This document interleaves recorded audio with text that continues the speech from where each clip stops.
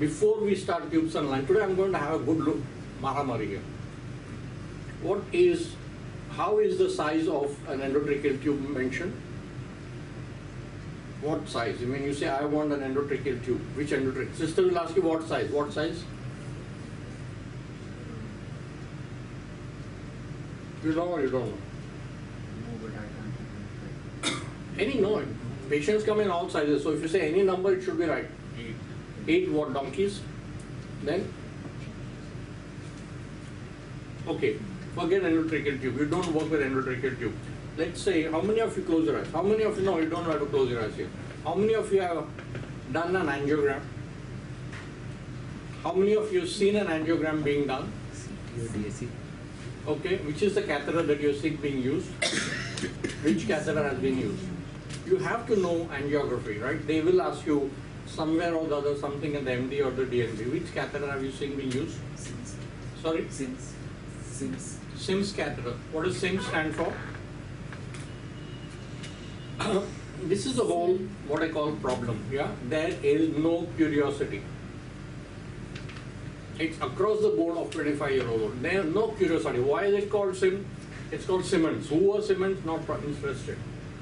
Why I'm saying it is important, come become obvious through the lecture, is that unless you are curious, you are not going to do something path breaking. You will be another donkey. You know, in my school group, I asked the question, in the train of life, yeah, in the train of life, what would you like to be? Yeah, close your eyes. Would you like to be a passenger? I'll give you the options. Would you like to be the engine driver? Would you like to be the guard? Or would you like to be the pointsman? A pointsman is a man who changes the point and the direction of the train changes from one track to another track. Okay? How many of you want to be the passenger? Okay, please put your hands down if somebody has raised. Please put your hands down. How many of you, please put your hands down. Yeah. How many of you want to be the engine driver? How many of you want to be the guard? And how many of you want to be the pointsman? Okay, thank you. So it's sort of distributed equal, not equally at all. In fact, nobody wants to be the passenger, almost nobody. Very few want to be the pointsman. Yeah.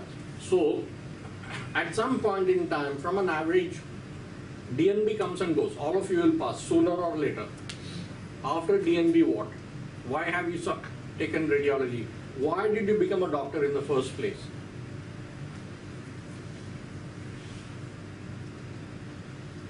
And these are important to me at 65 years of age. I'm trying to convey this to you when you're 25 years of age. There has to be a purpose in what you're doing. And these tubes and lines are so important. And it starts with the fundamental things. It's called SIM 1 or SIM 2 or SIM 3. Why is it called? Ask questions. And when I show what I'm going to show, you'll realize how that makes a big difference in how you think about medicine and radiology and patient care. Yeah? The reason I'm teaching it, teaching here, is I want to change the way radiology is trained. There is nothing here, almost nothing here, that you cannot learn from books. What I'm trying to tell here is what you cannot learn from books. It's a small part, but that's according to me an important part, like you'll see in this lecture. Yeah? So whatever you see, ask why. The worst will be, I don't know. My son is mad, he's an engineer, he has to tell him why, why, why. I say, I don't know. Medicine doesn't know the answer. For example, this answer, this is called Simmons catheter. Why is it called Simmons catheter? Who was Simmons? And what is the beauty of the Simmons catheter? What is the beauty of the Simmons catheter? It's a reverse curve catheter. Yeah? So if you want a Simmons catheter for a Bachu who is two years old, what what is the number you'd say?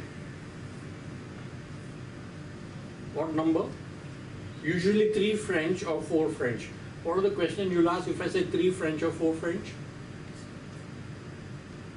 Anyone, what is the question you'll ask when I say three French or four French? The obvious question is, what the hell is French? Yeah? The next question is, why is it called French? Homework. And last time I gave a whole lot of homework, nothing is coming here. Anybody writing down homework, please write down the homework and give the, the paper to me next time. Because if I give you homework and you don't read about that, there is no point in these lectures because I give you more homework than I talk here. Yeah? why, what is a French scale, yeah, and why is it called French scale?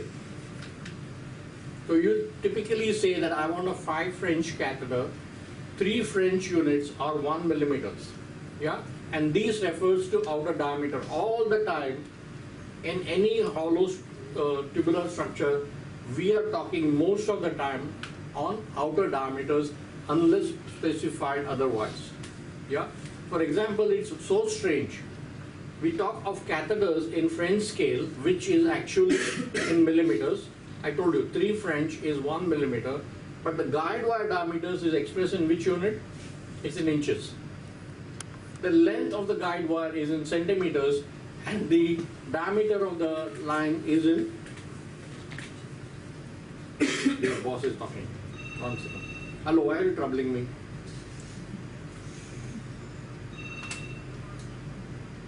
Yeah, I have reached your bachus are around me and I'm troubling them. Yeah, yeah, sorry. You're lucky you have him as a teacher. Small. You get what I'm saying? The length of the guide wire is 150 centimeters or 180 centimeters. The diameter of the guide wire is 38. It said 38. Why is it called 38? Do you know why it's called 38? It's 0.038 inches. That's why it's called a 38 wire, and it's hilarious, absolutely. Diameter in uh, in inches and length in centimeters. Now they have started mentioning the diameter also in uh, centimeters or millimeters, actually. So you have to ask. I want an endotracheal tube. There is a number to it, and homework for you: endotracheal tube numbers, nasogastric tube. I like to call it nasogastric rather than Ryle's tube. So you to, it's more accurate. I think you can eponyms using eponyms. What is an eponym? Named after. Name after somebody, yeah, who first described it. And there is whole lot of controversy. Should it be called Hansen's disease or Hansen disease? It's not as if Hansen had a disease, yeah. There's very interesting English language discussion on that. So when we talk of nasogastric tubes and we talk of endotracheal tubes, we talk of the diameter in numbers, yeah? That's for example, you say 14 number, 18 number, and you tell me next time what the number stands for, yeah? So we, let's see, first we'll talk about endotracheal tubes. Yeah, you have an endotracheal tube here? Somebody said you have an endotracheal tube here. It's packed, is it? You have an open one? No, I don't think it's wet. But I'll show you in pictures. I'll load my pen.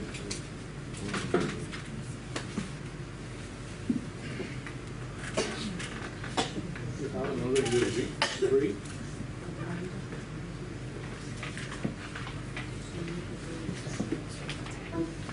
No wireless, no? No, don't go. If necessary, we'll open, otherwise don't waste. Sorry? Oh, it's not.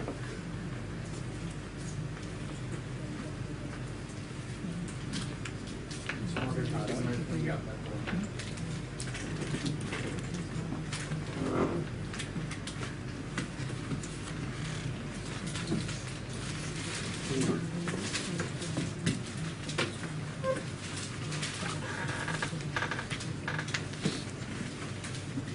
So the endotracheal tube. I press B, it blanks. I press B, it comes back again.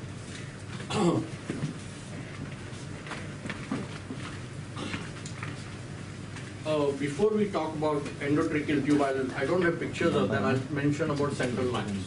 Yeah. Uh, central lines most of the time these days are jugular lines. Sometimes subclavian lines. Nobody puts a, a peripheral line commonly. I don't know if chemotherapy they may put a PICC line. What is the full form of PICC? Very good. And it's catheter, it's not catheter. Yeah? It may be cathedral, but it is catheter. And we did a study at my hospital, and 80% of central lines are wrongly put. The correct position of any central line, whether it is transjugular or whether it's subclavian, is that it should not be above, below the level of the carina. And it should not be in the jugular vein. So somewhere in the mid portion of the superior vena cava is the correct position. But that position depends on the position of the neck. Yeah? So if it is, again, we'll talk about that in an endotracheal tube and we'll see about that. So looking at the position of the central line is very easy. Two things are important when you look at PACS monitors. One, change windows. Every single time when you're looking at plain films, change windows. So that you see the lungs and heart properly in one window and if it is not a high KV picture. You will not see the spine. Change the window to see the spine every single time. And if you're looking at small bones, for example, use magnification. Ideally, if you have time, you mag every, every single time. Yeah? If you don't change the windows, you are missing findings. Once in at least 10 times. And this is a habit that you should have, and that's something I learned very late in life. Change the windows, look at the spine window. If you have a shortcut, use that. Yeah? Or and or magnify. Don't ever look at hand x-rays or look at foot x-rays without mag. Yeah? Mag and keep looking, keep looking, keep looking. No shortcut to giving enough time. Yeah? Same thing about lines. You may not see a nasogastric tube, I'm sorry. You may not to see a central line or an endotracheal tube properly unless you change the windows. Yeah, if the portable is poorly done. Every single time you sing a song, when you have a critical care X-ray, tubes and lines, tubes and lines, tubes and lines. You can either report the rest of the X-ray first, or you report the tubes and lines first. I like to report the tubes and lines first because critical care people at our hospital don't look at it properly. I don't know what it is like here. And you'll see the same mistake day after day, day after day. And you have to call up the ICU and tell them, for God's sake, change this. Otherwise, I'm going to sue you. And then somebody will go and reposition the tube. So, and whether they do it or not is your job to say that this is wrong or this is right. So, first thing, the central line may either come from the jugular vein or it may come from the subclavian vein. If it comes from the subclavian vein, the chances of complication in the pleura, the chances of complication in the lung are vastly more than when it comes from the uh, jugular vein. So you look for pneumothorax and you look for pleural effusion uh, or hemothorax in a trans-subclavian approach. Where you look, where will you look for uh, hemothorax in a, in a chest film? These films are mostly supine and the blood will come collect at the apex. So if you compare the left side and the right side, and if you find an apical pleural cap on one side, suspect that there is pleural uh, blood, I mean if there is hemothorax. Yeah? And if this patient has, uh, um, if this patient has abnormal clotting parameters, he could bleed to death. There is nothing that will prevent that subclavian vein from bleeding. So usually these days, when you puncture below the middle third of the clavicle, touching the clavicle and puncture the subclavian vein, they will not counterpuncture. You understand what is counterpuncture? You puncture only one wall, you don't puncture the other wall and then withdraw and see if it is in the vein. Because if you do that and the patient has abnormal uh, coagulation parameters, he could do. So if you see an apical pleural cap on a supine film in a patient who has for the first time had a subclavian line, call up the ward and say there is something wrong. And as far as tubes and lines are concerned, it is not about the written report. It is about conveying to the concerned people as soon as reasonably possible. That means if you're doing it 8 o'clock in the morning and the line has been put at 6 a.m. or the line has been put at 6 p.m. the previous night, go call the ward, run up to the ward, do what you want till they get the message that this is wrong. Oftentimes they will say that, yeah, we know about it, we are working on it, doesn't matter. Your job is to tell the ward because you can save lives. You can save lives with wrongly placed central lines. You can save lines, of course, with uh, endotracheal tube. And surprisingly, you can save lives even with nasogastric tube. So the wrongly positioned central lines are one which is not where I said. That means it is not above the carina, below the jugular, I'm sorry, below the superior vena cava, so somewhere in the mid SVC, a line which is in the right atrium is a complete no-no. Because two things can happen, it can produce atrial, some sort of rhythm abnormality and it can perforate. And again and again and again, you will see lines which are in the right atrium. And why? Because this is complete unadulterated stupidity. Because that cover says that make sure that it is four to six centimeters from the puncture line. That's for Americans who are average five feet eight inches tall. And these idiots do the same thing. Yeah, six to eight centimeters from the puncture point and the damn thing is in the right atrium. I've seen lines which are in the IVC. And you cannot have it in the right atrium at all under any circumstance. They have to change it. And you have to tell them that it is wrong. So the maximum that you can allow is slightly proximal to the mid portion of the SVC. And you get a sense of what is mid portion of the SVC when you see the change in direction. Yeah, I, if I have, I'm, unfortunately I don't have pictures to show the central lines, and it's not a big deal. And you see the line, you see the tip, change the windows, magnify and see which is the real tip. Sometimes you get carried away by a wrong tip being, I mean, seen on a non uh, properly exposed film. And the other thing is that uh, if there is a left-sided jugular line, most of jugular lines are right-sided because easy. Yeah. If you see a left jugular line, that left jugular line has to come in the left innominate vein all the way up to the SVC and turn down like the right jugular line. It cannot go and hit. For example, if this is the right wall of the SVC, the patient is looking at you, the left jugular line comes like that, naturally it goes and hits. It can perforate, and this is a real danger. It has to be repositioned such that it faces downward like this. You understand? A curve like that comes like that, not like this, but down. It, this is like a needle. It should, like the right subclavian line, be pointing down. Again in the mid portion. So coming from the left side, pointing it down like this is not easy. So people trying to avoid the left jugular line as much as possible. And the left jugular line sometimes is in the left innominate vein, not acceptable. The smaller the vein, the greater the chance of thrombosis. Yeah, and I often say, when people laugh at me when I say that, the left jugular line is in the distal portion of the right jugular vein. It does all sorts of things. It comes down from here, it comes into the innominate vein, it comes in SVC and it goes up like that. No line, no line should be against the direction of flow of blood because there will be turbulence and if there is turbulence there is chance of clotting, clotting means trouble and infection, especially in all of these patients who have comorbidities.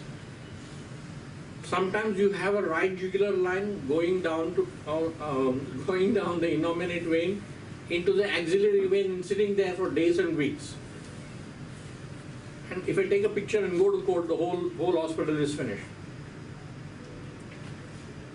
So nothing is impossible as far as the lines are concerned. There is no shame when you put a line, it being in the wrong line, in wrong place. It happens. Yeah, you're doing blindly ultra under ultrasound guidance. But what is unacceptable is that having seen, and they always, every single time, will do a film after doing a, putting a line to check. It is already done, always done. And when you check, and you don't look at the lines and don't change the position, that is not acceptable. You see it on the wall, you see it on the wall around, you don't change the position, that is not acceptable. It has to be repositioned immediately. So there is no big science involved in jugular lines. You see the position of it, you change the position, and that's the end of the story. You should know what the normal position is. No right atrium, no line against blood flow. All lines, I'm not saying preferably, all lines should be in the superior vena cava above the level of the carina. That's that's the watchword. Above the level of the carina. Yeah. And this is the this is the guideline of the um, Society of Intervention, no, Society of Critical Care Medicine of the USA, and it has been adopted by the Society of Critical Care in India that it should be above the level of the carina.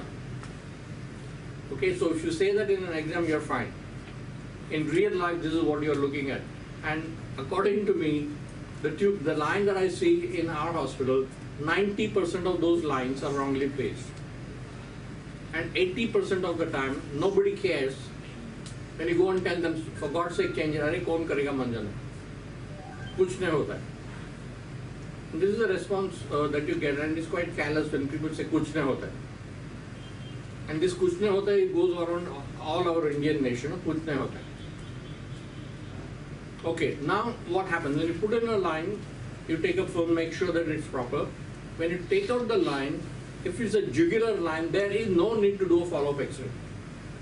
Because if there is a hematoma, it will form in the neck, and you can always compress. People compress it. And we have been puncturing carotid arteries for donkey's years. We just compress it. Yeah. So nothing is going to happen intrathoracic when you take out a jugular line. On the other hand, if you take out the subclavian line, and especially if the bleeding parameters are abnormal, it could bleed in the thorax. So you do a follow-up X-ray after removing a subclavian line. All the time, remember that these patients are supine. So the pneumothorax will be at the apex, in the upper zone. The hematoma will be in the apex. And all of that is automatically registered by you, knowing that this is a supine film. And most of the time, it is difficult or it is difficult mentally for the ICU guys to take upright views. They'll give all sorts of excuses why upright views cannot be done. Yeah. So the place that you look for is at the uh, apex of the lung. If, if next time I remember, I will show you some pictures of wrongly placed central lines and some complication thereof. now, when you come to the endotracheal tube, I have said that uh, we talk of the diameters of the endotracheal tube. Not that it is relevant to us as far as this is concerned. It is relevant as far as curiosity is concerned. All of you are bright guys, no? Top of NEET, beat, all that lafra.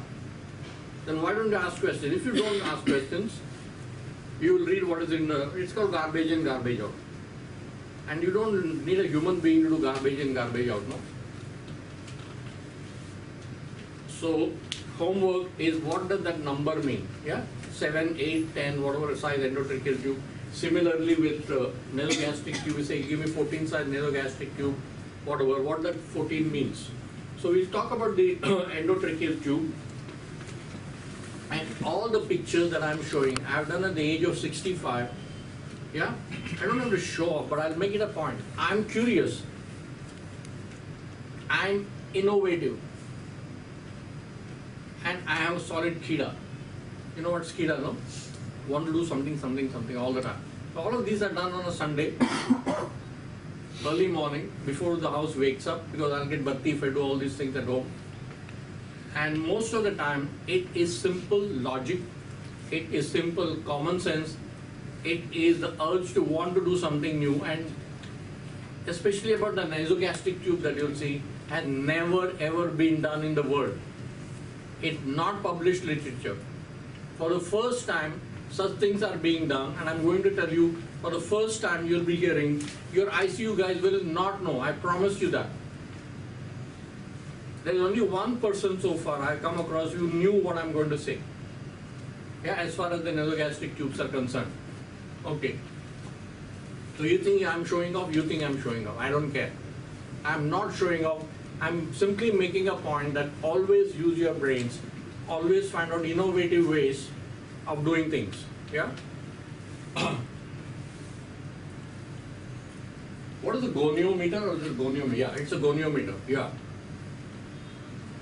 it's something to measure angles. So I took a piece of cardboard, cut it into two pieces like this, put one of those, uh, what do you call, clips that you use for notice boards and you get a homegrown goniometer because I wanted to measure angles. I'm sorry, this is what.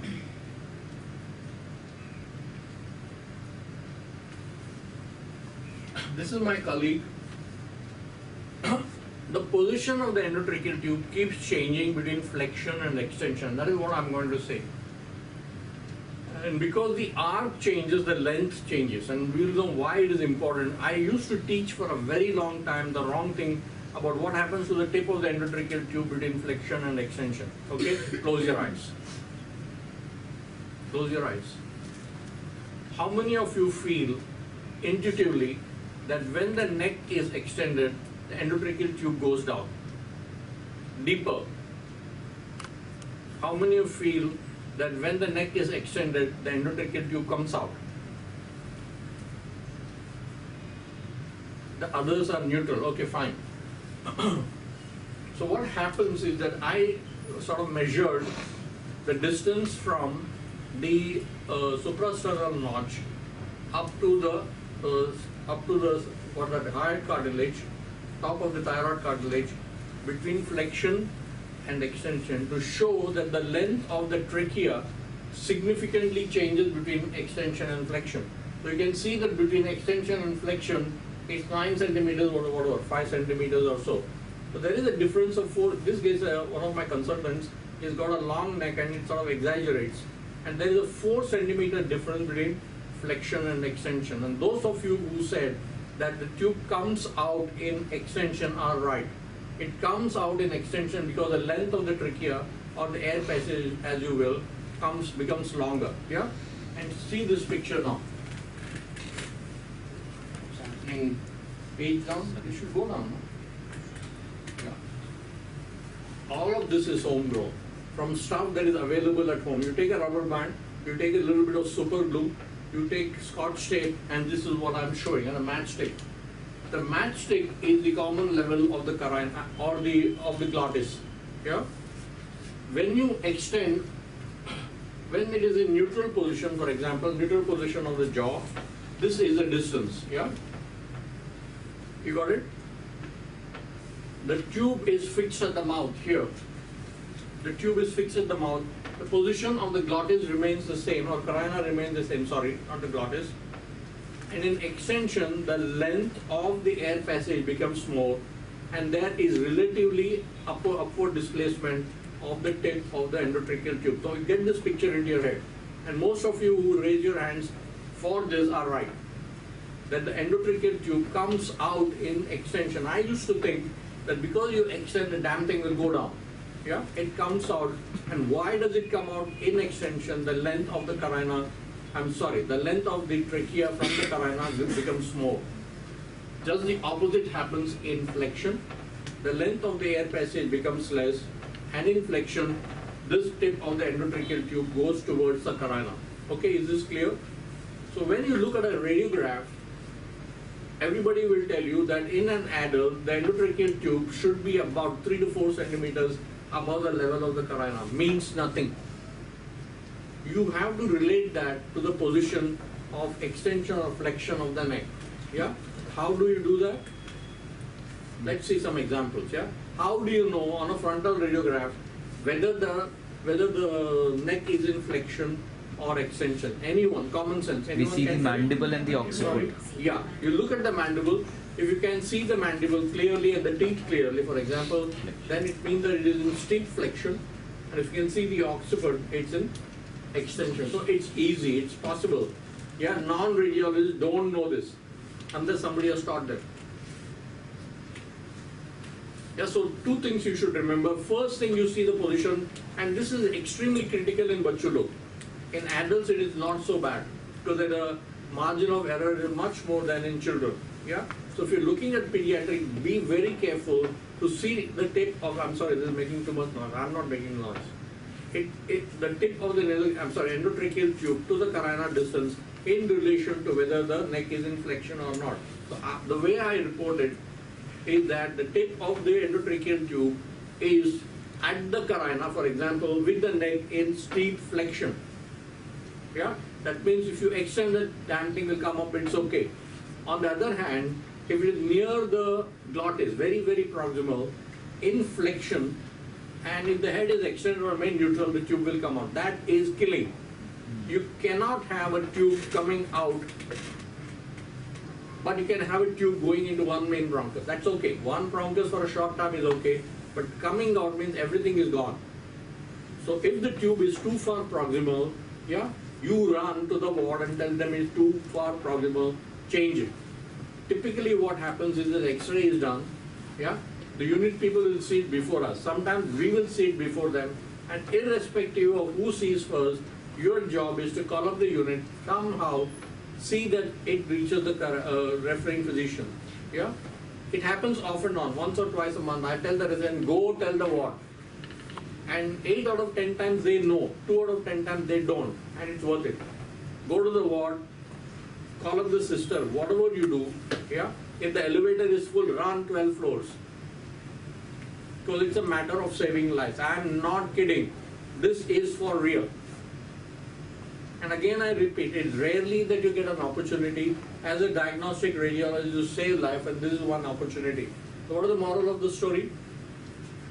See the position of the tip of the endotracheal tube in relation to the position of the neck, and that is done by looking at the chin. Often in bachus, you will see in the chin, even in adults, many times you will see the chin.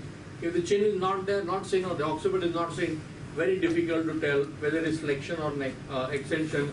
Even then, even if you cannot see the flexion or extension of the neck, if the tube is critical, very close to the carina or way out, you go tell them if something is wrong. okay, when I say go tell them, I'm repeating for the hundredth time. You call and tell the resident, or you go to the ward and tell the resident something is wrong. The resident is OR and washed up, all that is not acceptable. Somebody has to come to know, especially in children, that the tube is wrong. Yeah? So this is a stylized representation of what exactly happened. So there is no doubt in any of your minds when it will come out and when it will go in. Remember that the length of the trachea or the air passage becomes more in extension. That doesn't take any genius and therefore you will remember that in extension the tube will come out. You got it? Because this distance from the mouth to the tip of the tube is constant. It's the air passage that is changing and all that uh, maramari happens. Yeah? Okay. so this is the easy part. Nasogastric tube, you ask, most people will know. Yeah, they will tell correctly, like you people have said that in extension it comes out, in flexion it goes in, most people will know. But nasogastric tube is ignorance, complete total ignorance, yeah? At the end of this class, I'll ask you some hands up, hands up stuff, and you'll know what exactly is going on, yeah? now, intuitively you feel nasogastric tube. kuch farak the usual story. It can make a big difference, yeah? We start with the nasogastric tube, and I took some, sorry, why am I doing right click here? I'm pressing this and this here. Go back. No, this is trouble. So can somebody go on that? So if you have to go from here, you have to click on the icon, as far as I know. Okay. This is fascinating, completely fascinating, yeah? The nasogastric tube has multiple side holes and it is also a radiopaque marker line. All of you know that? Hmm. Anyone doesn't know, hands up. Okay. The most interesting part in that, there is only one side hole which comes on that radiopaque marker, no matter the size of the tube, no matter the brand of the tube, without exception, the only hole that comes on that line is the proximal most side hole. Yeah, remember this. Without exception. You can open this tube if you want and see afterwards. So when you see that line on the X-ray and there is a break and that break corresponds to the proximal most side hole and that is the only thing that you are looking at. Yeah. For all practical purposes, you're not bothered where the tip is. Yeah. I'm, I'm just being a little exaggerating here. But what you are looking at, not the tip, but you're looking at the proximal side hole my reports will always always read the proximal right side hole is here, and you'll know why. Yeah. So this is this is what I said. The only side hole which is seen or which is manufactured on that radial opaque line is the proximal most side hole. Clear? This is all that you need to know for the rest of it. So sitting at home on a Sunday morning, this is what I got, made. I made a lower esophageal sphincter I made a upper esophageal sphincter, the same plastic bag. The segment between this and this is the esophagus, short, congenitally short esophagus, whatever you want to call that, and the, that other part is the bag, is the stomach. This is what I call application of mind. keep thinking, thinking, thinking, say, how do I show it? You don't need any fancy stuff. You need a tube which is latified from the hospital you need a couple of letters, I mean rubber bands and a bag. Am I trying to show that I'm smart? I don't know to show. I am what I am. What is important for you to understand that it is possible to go beyond the ordinary and do some funny things. Interesting stuff. so what I did here, and this is the first picture, has no magic in this. You see the tip of the nasogastric tube, and you see the lower esophageal sphincter, you see the upper esophageal sphincter, you have a stylized representation of where the stomach is, where the esophagus is, and what is the relationship of the tube. So the first picture, I, I just wanted to show the importance of the proximal interphalangeal, I'm sorry, proximal side hole, yeah? So this is what I did.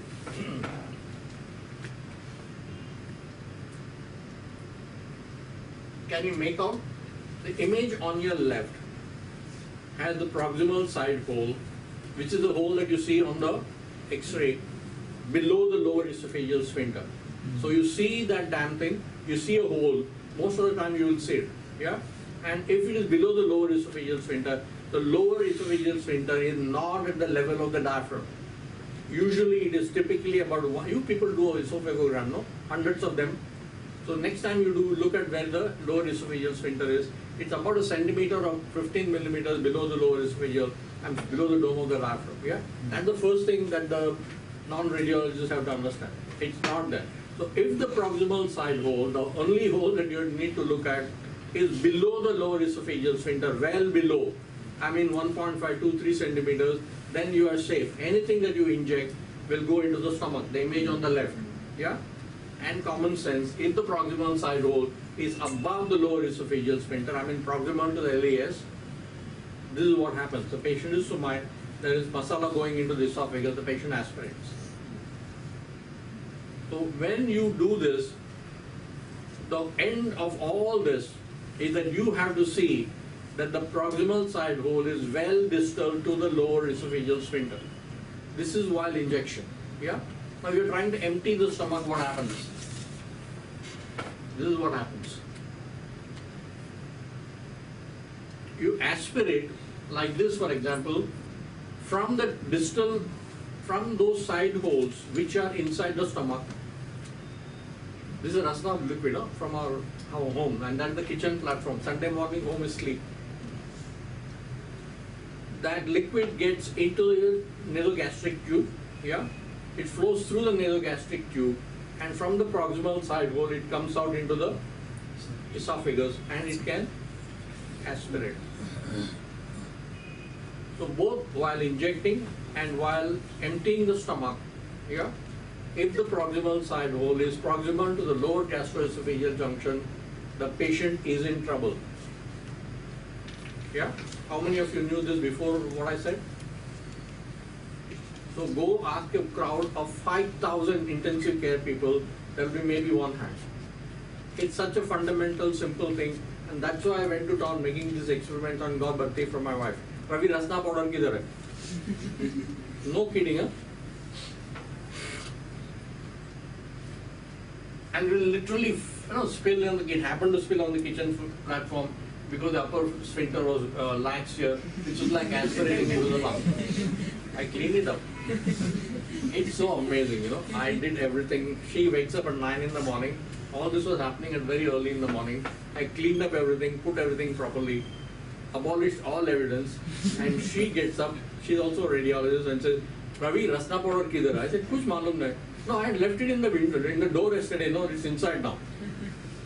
Women, no trouble.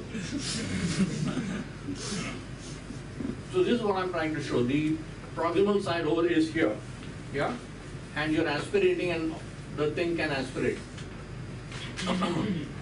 On the other hand, when the proximal side hole is inside, there's no way it can leak into the esophagus. Yeah. So this is this is the be all and end all of everything. On every single uh, nasogastric tube, you change the windows, you magnify, you do what you want. Yeah. Especially in infant feeding tubes, you may not be able to see it well. You have to identify. So my typical report is this the tip of the nasogastric tube is not seen. Sometimes it's not seen, but the proximal side hole is distal to the gastroesophageal junction. I am not most of the time interested in the tip. Sometimes it's it's funny. The tip will do a U-turn and come back into the esophagus. So theoretically speaking, 999 times out of the time, you're safely home by looking at the proximal side hole. Yeah? Sometimes the tip does funny things. And where do you look for if there is a nasogastric tube or not? The best place to look at is the suprasternal area where you see just the blank black air. Yeah, you don't look at the stomach. You don't look at the esophagus. You look here. And if you see that line like that, you know for sure that there is a nasogastric tube. Oftentimes you will trace it from the top every single time. If you magnify and if you change windows, you will be able to trace it. All sorts of things happen. It loops backward and comes into the pharynx. It loops backward and comes to the posterior third of the tongue. It does all sorts of things. And worst of all, it's nicely in the stomach. I call it the peeping tom nasogastric tube. Just the tip is in the stomach, the proximal side hole is proximal to the, it's like a song. The nasogastric tube is far too proximal in the esophagus. The proximal side hole is proximal to the pro- lower gastroesophageal junction. Please reposition the tube such that the proximal side hole is distal to the lower esophagus. It's like a song, and my colleagues sitting there get boppers.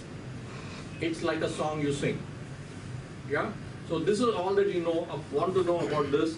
And anybody want to teach about this and borrow my pictures, welcome. Yeah? They are available on the website, you can go and take them. Any questions so far? This is so simple, commonsensical logic. Yeah? I know PowerPoint, don't tell me.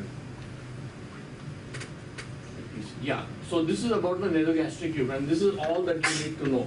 There are no exceptions to the rule that the proximal side hole is the only side hole which is on the marker. I'm told you for the hundredth time. Even if you take an endotracheal, uh, if you take an infant feeding tube. So this is about the endotracheal tube and the nasogastric tube and the central line.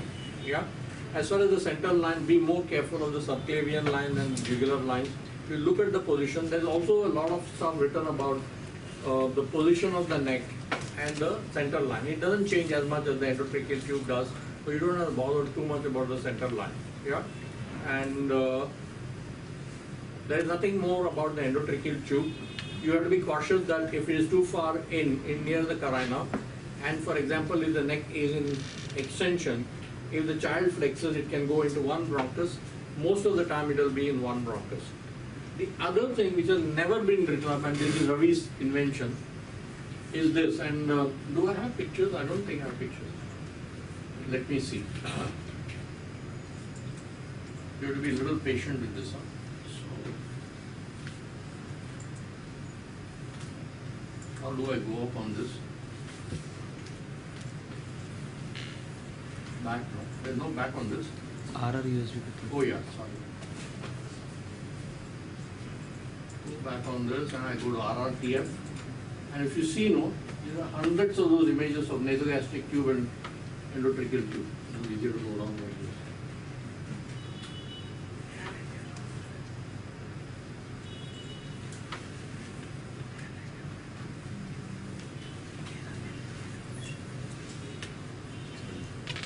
So I'll quickly run through these x-rays. Yeah, you'll see one by one.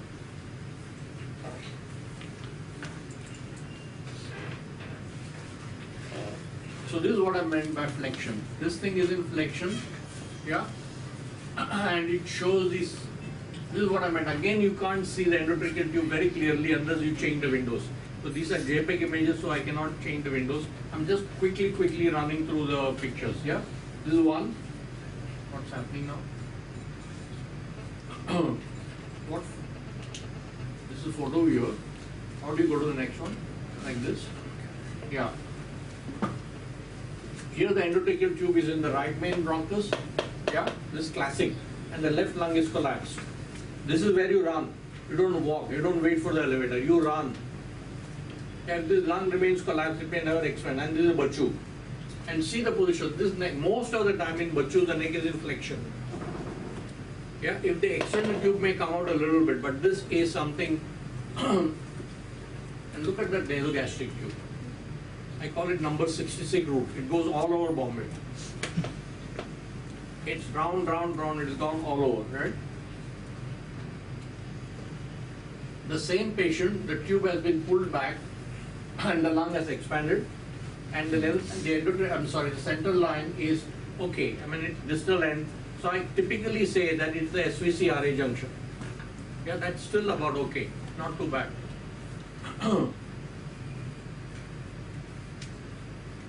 Here again, the lung is collapsed. Left lung is collapsed. The mediastinum is shifted to the left. There is no lung on the right, no heart on the right side of the right border of the spine. That is my national anthem.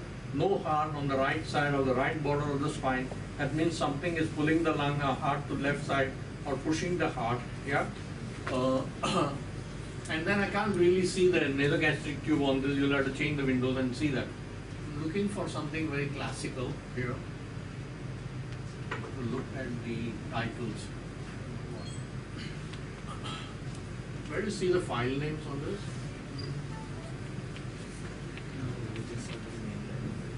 Yeah, I know, but where are the file names? Okay. This is the PDA clip, so don't mistake that. These are all virtues from cardiac uh, post-op surgery. And let me go back and I'll show you.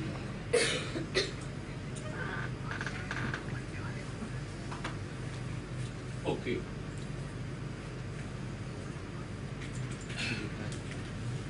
How do you make it full screen?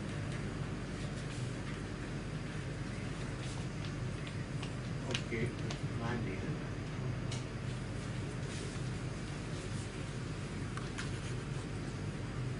I want the other one, ETT.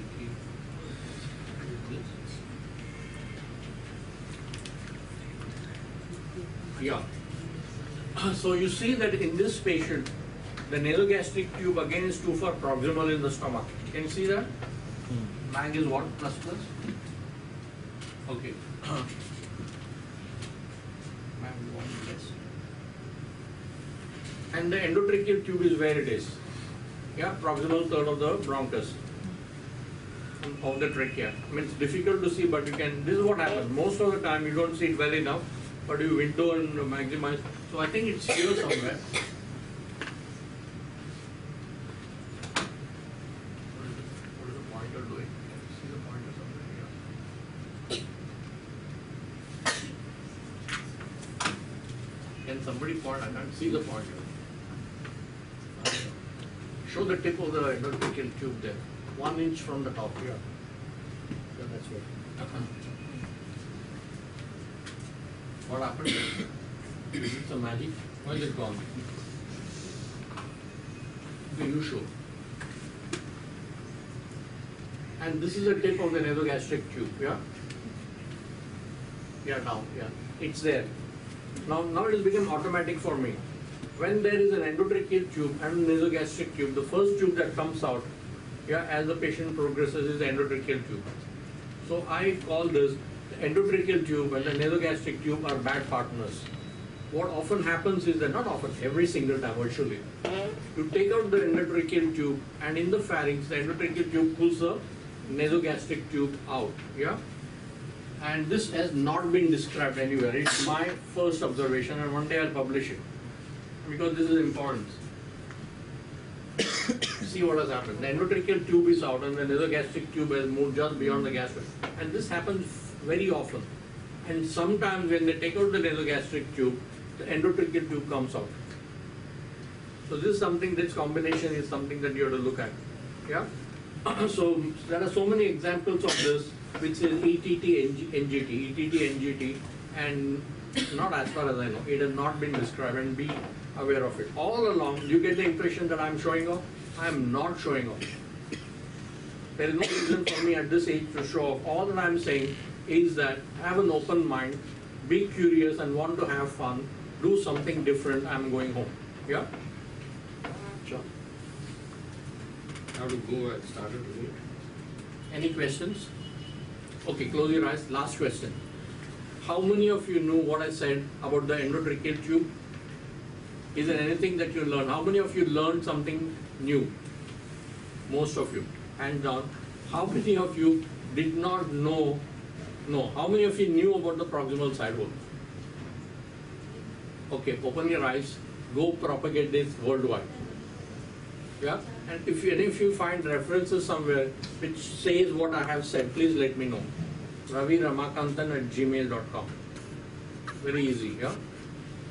Because this is so fascinating, and I knew it now, last five years. Before that, I didn't know because I'm not reporting every single ICU X-rays.